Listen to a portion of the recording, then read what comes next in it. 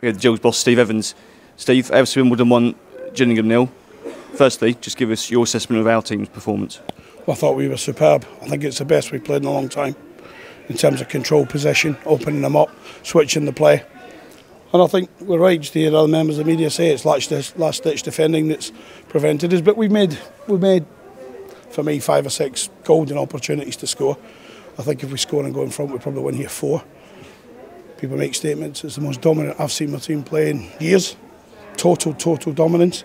But we've lost. And um, I feel for the players, I feel for the travelling supporters. Um, but if we play like that in any other game, then we'll, we'll have to take what comes.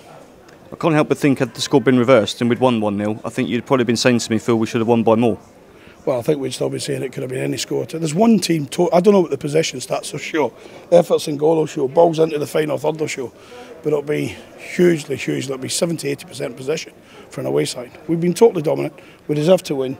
It's a smack in the face, we have to take that smack in the face. We're not going to talk about the referee publicly, we'll speak to him privately. You know, I've, I've, I've got to remain private what my thoughts are about Kevin Johnson's performance because if I say them publicly I'd be in trouble. So I'll say them privately to him.